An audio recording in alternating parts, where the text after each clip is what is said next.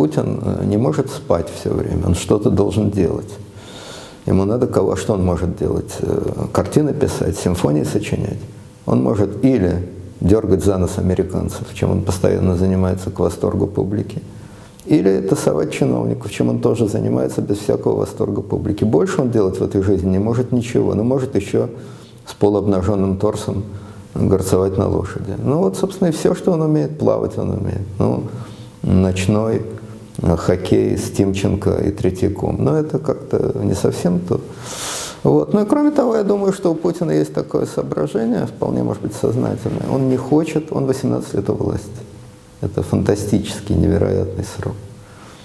Он очень самолюбивый, тщеславный человек. Он очень не хочет, чтобы его сравнивали с Брежневым. Очевидное сравнение. Застой.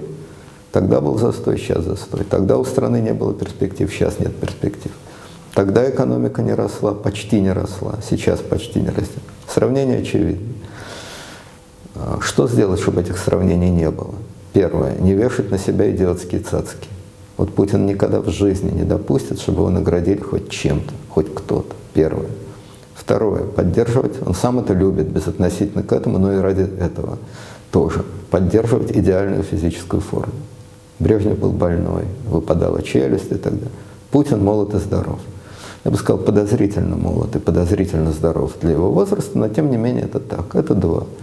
Третье, при Брежневе был кадровый застой.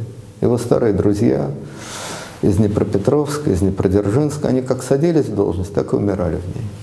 Путин меняет людей, показывает, нет, жизнь продолжается, нет, жизнь идет, я выгоняю таких, я беру других. Вот сидите, ломайте голову, зачем я снял